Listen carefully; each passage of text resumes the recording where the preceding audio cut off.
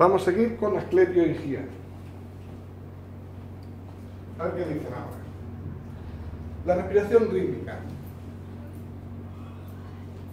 Dice, inhala, yo estoy inspirando, retener, ¿eh? yo sé cómo son cuatro pasos. Coges aire, yo estoy inspirando, aguantas el aire, yo estoy absorbiendo, exhalas, yo estoy expandiendo y descansa, yo estoy proyectando.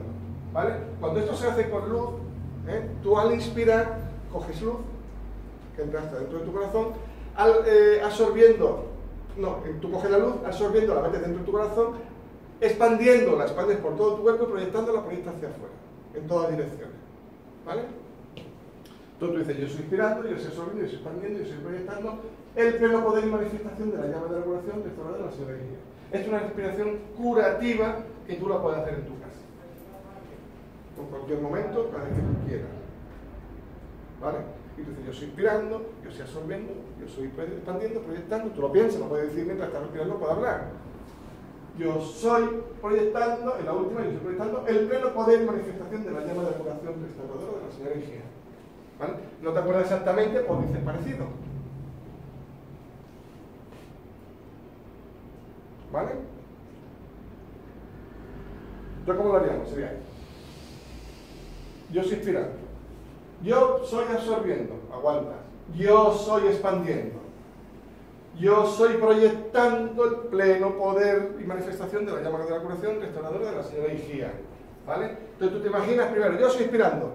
Y entra por arriba, por la parte superior de tu cabeza, un rayo de luz verde. Yo estoy absorbiendo y ese rayo de luz verde entra dentro de tu corazón, dentro de tu Cristo interno que lo absorbe y después lo expande, yo estoy expandiendo, lo expandes por todo tu cuerpo, sino de luz verde, y yo estoy proyectando el poder manifestación de llama curación de energía y esa llama verde proyectándola por todo tu alrededor hasta donde llegue. ¿Vale? Sé cómo se hace. Dice, a medida que practica la respiración rítmica durante este mes, Hombre, le dice a los que estaban allí, ¿eh? vosotros podéis eh, hacerlo también a partir de ahora todo este mes si queréis, o toda la vida, como. Sientan cada uno de sus cuerpos inhalando y absorbiendo, asimilando la llama y la energía. Tú lo haces y tú lo visualizas y tú lo sientes. ¿Vale? Dice, uy, pero es que a mí no me sale, vale, a lo mejor no te sale la primera vez, ni la segunda, ni la tercera, pero al final te acaba saliendo. Y aunque no te salga la primera vez, la primera parte te sale, después te sale la primera, la segunda, después la tercera, después cuando le coge el ritmo. Y si dices, no, es que lo de resmunar no me acuerdo, me desconcentro, pues tú dices, yo estoy proyectando el pleno poder de la llama de la curación de la energía.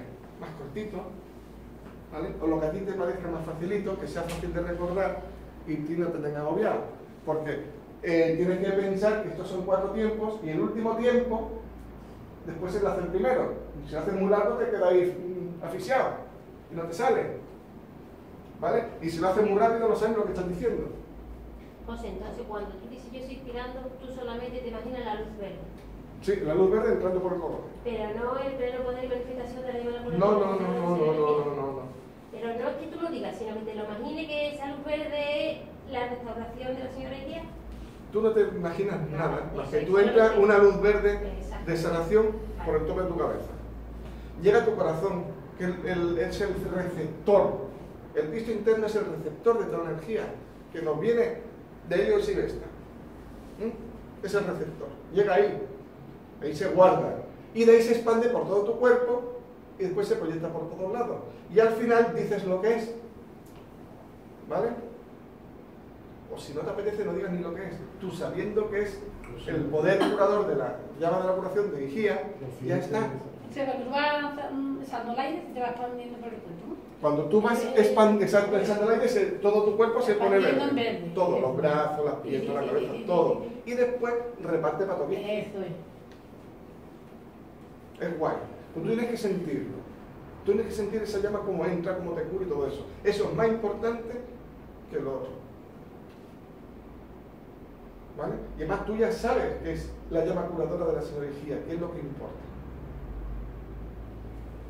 ¿Vale? Lo que sí piensa es, yo soy inspirando, yo estoy absorbiendo para que sea un trabajo desde el Cristo interno. Sí, pero al decir yo soy expandiendo, es todo para tu cuerpo, ¿no? Cuando expandes es para tu cuerpo. ¿sí? Sale de tu Cristo interno, que es donde está guardado, y se expande por tu cuerpo. ¿Vale?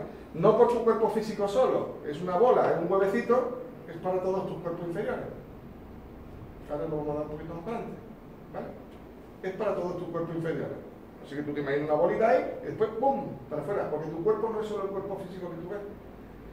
¿Vale? En verdad sería un poquito más para afuera, pero como tenemos el emocional así un poquito expandido, pues es un poquito más. ¿Vale? Entonces tú tienes que sentir, sienta cada uno de sus cuerpos inhalando y absorbiendo, asimilando la llama y la energía. Sientan como cada vehículo está siendo inhalado y absorbido, cada vehículo de los cuatro cuerpos inferiores, por la llama de su templo particular físico, etérico, mental o emocional. Sientan también la expansión, bueno, dice de la llama de su templo particular físico, etérico. ¿Eso qué es? El templo particular. ¿Sabéis cuál es el templo del Cristo interno? Tus cuerpos inferiores son el templo del Cristo interno. Tu cuerpo físico, etérico, mental y emocional es el templo de tu Cristo interno. Ahí es donde vive. Por eso hay que purificarlo, no podemos tenerlo como los tenemos. Porque ahí vive tu Cristo interno. ¿Y cómo tiene la casa el Cristo interno? Un poquito revuelta, ¿no? Pues hay que ponerla en orden.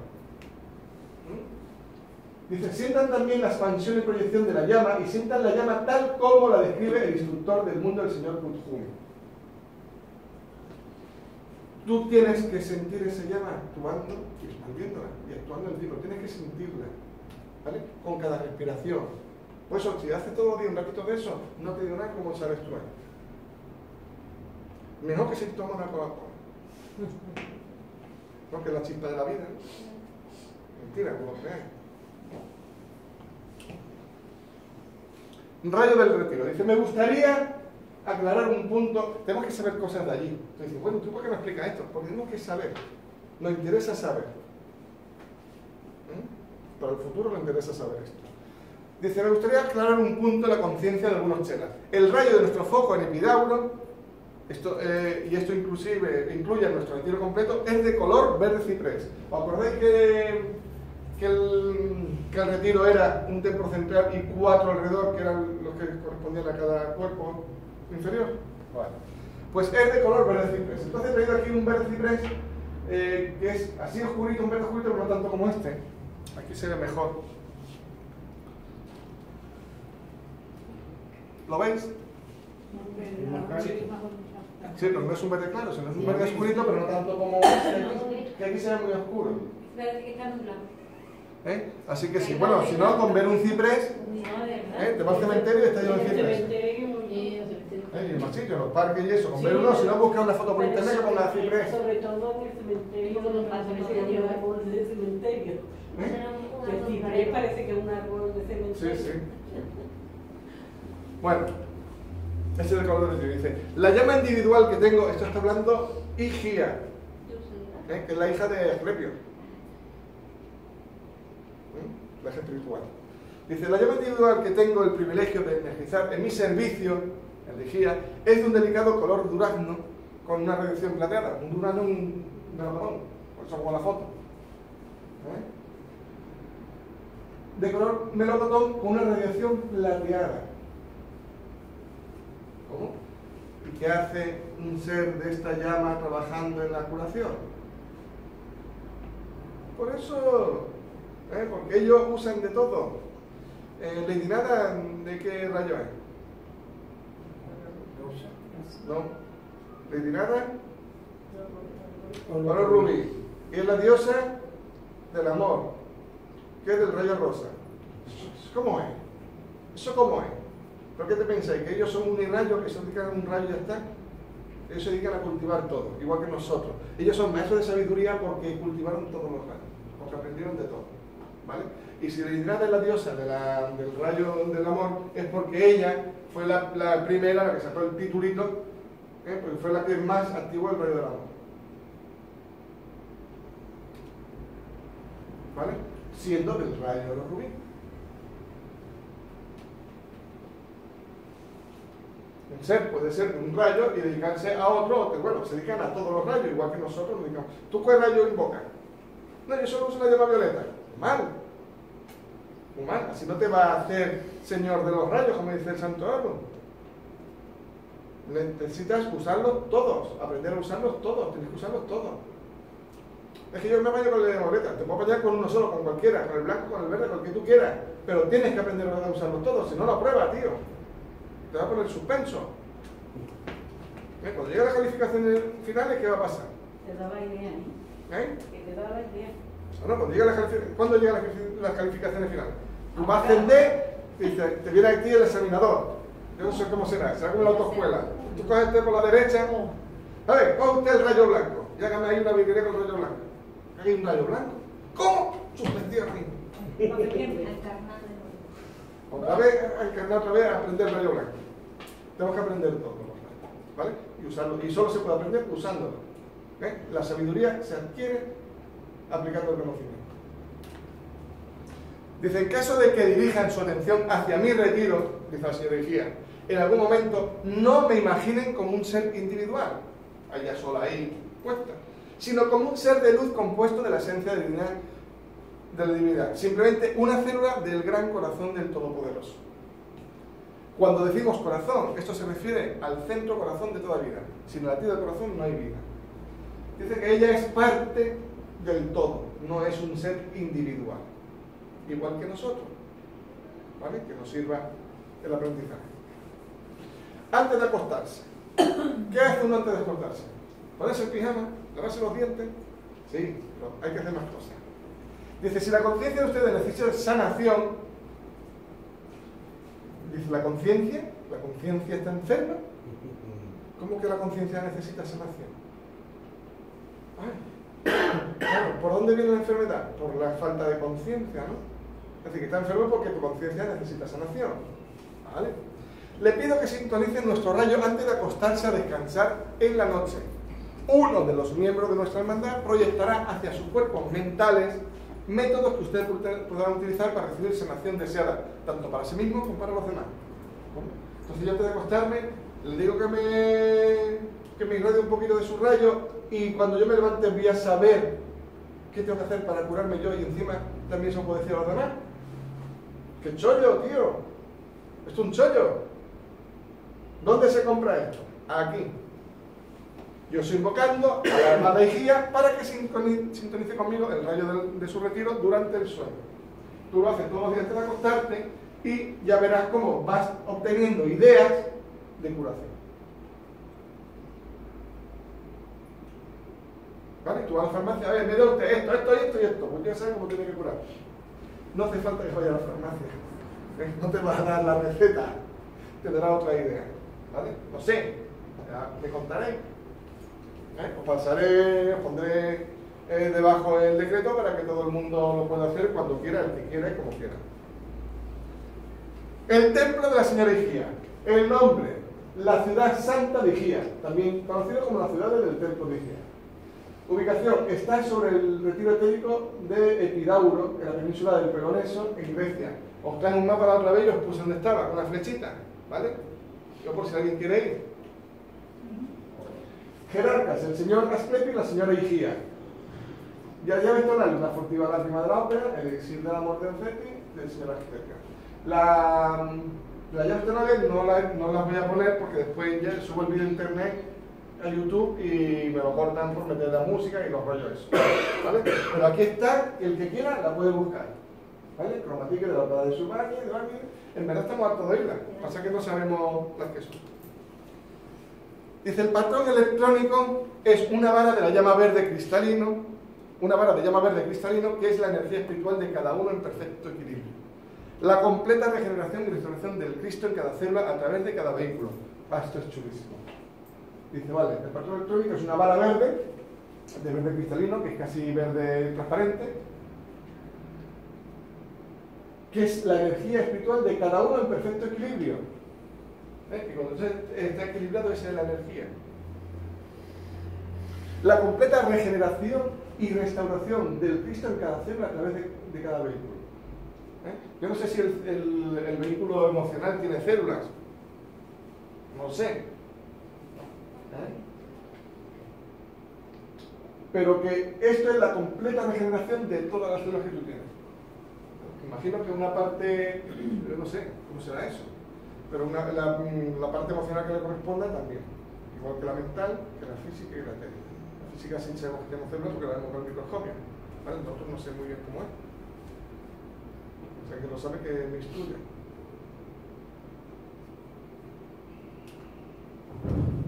Ruinas del templo de Epidauro. Dice, en el plano físico, cuando ustedes llegan al lugar donde se encuentran las ruinas, como algunos las llamarían, el, el del templo de Epidauro, la tierra que pisan, el prana de los árboles y la vibración de las piedras que componen dicha estructura física, hace que ustedes sientan la quietud del silencio. Así que tú llegas allí, lo primero que notas es el silencio. Ya que las actividades sagradas de este templo aún pulsan en los retiros físicos, en los reinos físicos. Todavía ahí se nota esa energía. Así que tú vas allí, a Epidauro, al templo, a la ruina del templo, que lo puse en la diapositiva de la otra clase. Dice los peregrinos, dice, cada turista que llega a ese lugar, a este lugar, es verdaderamente un peregrino que busca sabiendas o no la verdad de su ser. Es decir, que el que va allí, aunque vaya de vacaciones, en verdad va buscando eso. ¿Por qué creéis vosotros que la gente viaja tanto? Porque la gente está buscando, lo que pasa es que no sabe lo que busca. Soledad decía que todos los viajes eran iniciáticos. Ella me decía que no, y es cierto. Iniciático se refiere a que vas a aprender cosas nuevas que sirven para la evolución espiritual. ¿Vale? Y yo pienso que sí, que es cierto. Que eso es así. Y, y la gente viaja porque está buscando algo y no, no sabe qué, pone a viajar. ¿Eh? Lo que busca está aquí dentro, pero la gente lo busca afuera porque no sabemos que está aquí dentro. ¿Eh? Por eso está todo el mundo lleno de turistas por todos lados. Y los que van allá es porque buscan la verdad, quieren saber todo esto que nosotros estamos aprendiendo. Hay mucha gente que quiere saberlo, pero ni siquiera sabe que lo puede encontrar aquí. ¿Eh? Por los motivos que sean. Y van allí. Y algunos se tropiezan con la verdad y se les queda metida en la cabeza.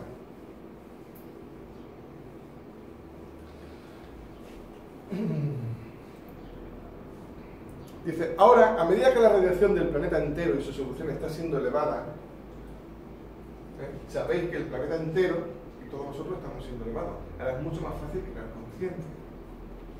¿Eh? Hay mucha gente que se resiste aún, pero nunca ha habido ni tantos libros de autoayuda ni tantas formas de uno aprender a mejorar su vida y a tranquilizarse.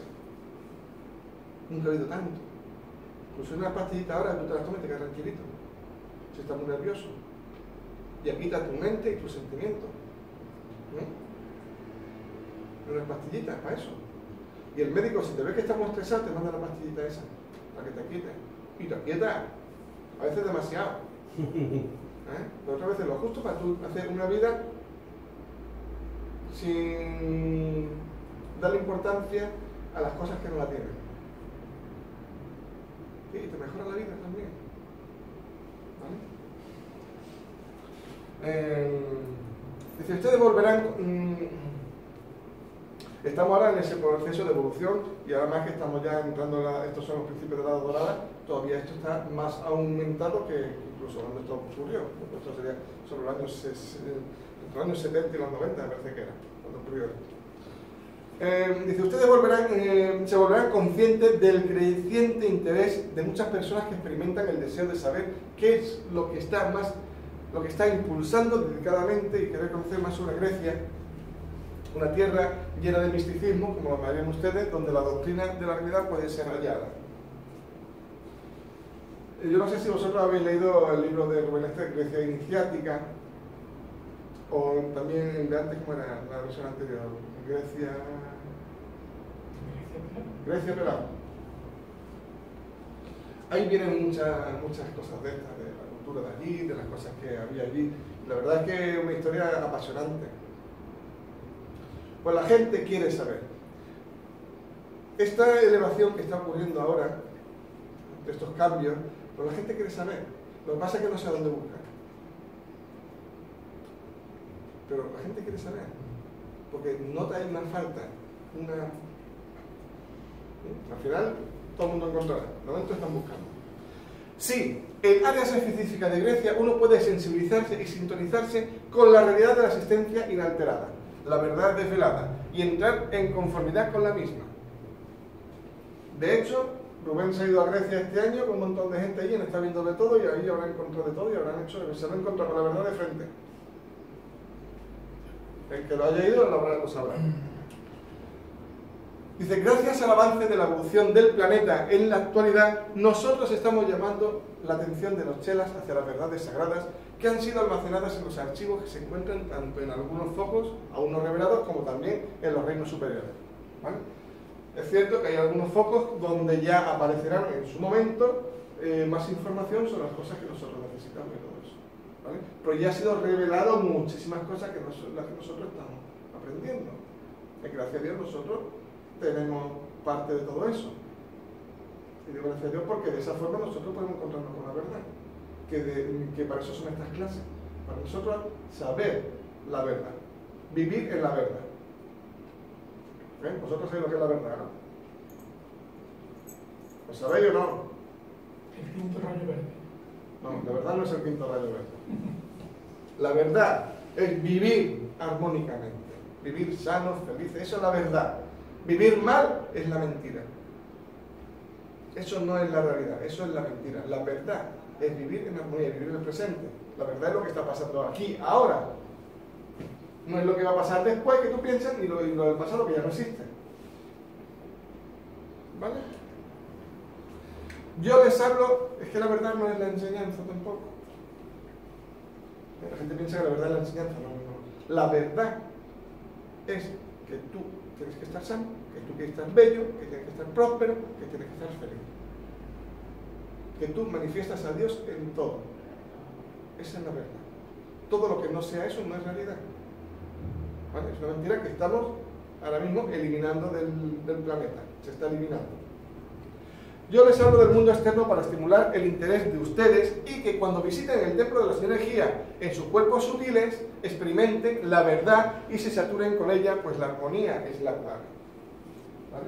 Que en conciencia proyectada te tiras para allá y tú ay, pues yo quiero ir al templo de la.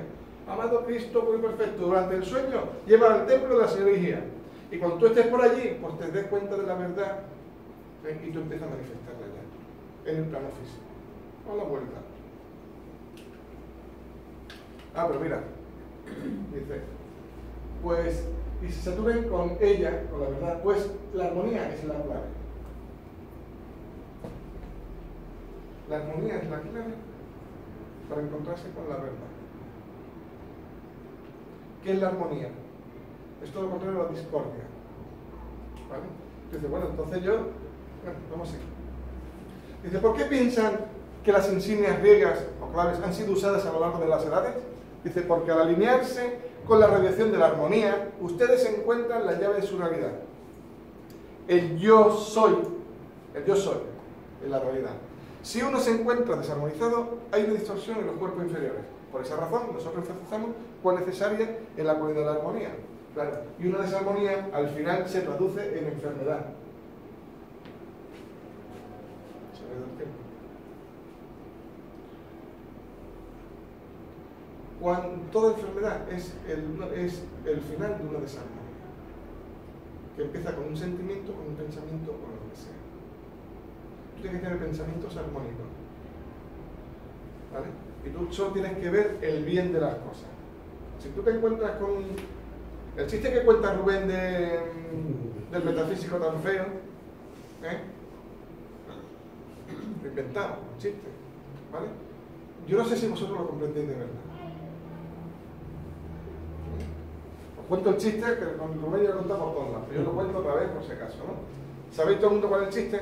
Yo no. Bueno, pues es un metafísico que era muy feo, muy feo, y va allí y le van dando sitio y tal y cual, pero al final lo quitan de los libros porque espanta a la gente lo feo que es. Y al final lo ponen en la donación amorosa. Y cuando va a, a pedir la donación amorosa, la gente en vez de darle la donación amorosa decía, ay, no lo acepto, no lo acepto. Va. ¿Entendéis el chiste? No lo entendéis, porque te he puesto cara de susto que no lo entiendes. Cuando tú no aceptas que tú no aceptas la imperfección. ¿Eh? Tú dices, uy, ve un coche abollado. Y tú no quieres tener tu coche abollado. No lo acepto. ¿Por qué? Porque si se te mete en tu cabeza, tu coche se va a verlo abollado, tarde o temprano. Entonces, si tú aceptas la, fe, la fealdad de esta persona, tú te vas a volver feo. Porque la aceptes. Menos mal que lo explicaba. Pero- ¡Claro! Pero, pero entonces, ¿qué haces tú con una persona? Todo el mundo no es guapo, ¿no? Tú no aceptas nada que no sea, que no sea No, inferior pero a la perfección. pero- no aceptas eso en tu mundo. Pero no le puedes resaltar y... Pero tú no te es un chiste. Chiquilla, ¿tú qué pasa? Que tú ves una casa que está, tiene una grieta y tú vas diciendo no lo acepto, no lo acepto. Sino cuando a ti se te, antes que se te meta en la cabeza Sí. y tú manifiestas una grieta en tu casa, tú dices no lo acepto. Porque eso es desarmonía. Y tú solo vives en armonía. Y una grieta no es armonía. No lo acepto. Porque si se te mete en tu cabeza, después se reproduce en tu mundo físico. Que funciona así. Yo, me imagino que el chiste ese no lo entiende nadie. Si se echa el dinero, dice, no lo acepto, están echando el mundo dinero, no lo acepto, no lo acepto, ¿no? No, que dicen que no lo acepta. El chiste da igual. La cosa es que tú no aceptas la fealdad. ¿Por qué? Porque tú no quieres ponerte feo. Porque si tú aceptas eso y tú empiezas a decir, uy, qué feo es. ¿Por qué te pones feo tú? Uy, qué pedazo de grieta. Te vuelve tu casa grieta. Uy, qué pedazo de bollo tiene ese coche. Te vuelve tu coche un bollo. Porque lo aceptando. gente. Uy, qué ladrón esa gente. Te convierte tú que te roben. Viene a robarte a ti. Pero tú no puedes. Tú, todas las cosas que sean negativas, no lo acepto, no lo acepto, no lo acepto. Porque eso crea desarmonía en tu vida. Y tu armonía es, en tu vida es que no tengas grieta, que a ti no te roben, que tu coche esté perfecto. Eso es armonía, que estés bello. Ahora, uy, qué feo aquel, uy, qué feo aquel. Yo tuve una amiga que era muy mona, de joven, pero de estas que, uy, no está feo aquel, no está gordo el otro. Tú tienes que verla ahora. Está fea y gorda. Lo ha generado ella, porque ella ha ido persiguiendo eso. Ella lo ha ido buscando. Pues eso tú no tienes que aceptar. Tú, tú no puedes hablar de eso. Tú ves algo feo, no lo acepto. No lo acepto en mi mundo. No quiero que eso se manifieste en mi mundo. Porque además no es armonía, es desarmonía. Veo un enfermo, no lo acepto. Pero tú no lo aceptas, pobrecito el enfermo, tú le mandas curación y todas esas cosas. Y al feo le mandas belleza. Pero tú no aceptas eso en tu mundo. Que no se meta en tu cabeza para que después se manifieste no significa que tú rechaces a esa persona, sino que tú no aceptas la fealdad en ninguna de las formas. Tú una casa que está muy fea, no la acepto porque es lo mismo, te pones tú feo, se pone tu casa fea, no te pones tú. ¿Me entiendes? Tú tienes que eliminar todo lo que no sea armonía de tu vida y no crear desarmonía. ¿Vale? Así que tú tienes que ser en la calle bien guapo, no puedes estar desarmónico. Tienes que estar arregladito y limpio. Si no, creas desarmonía también. Eso es desarmonía. Eso crea enfermedad. Seguimos el próximo día.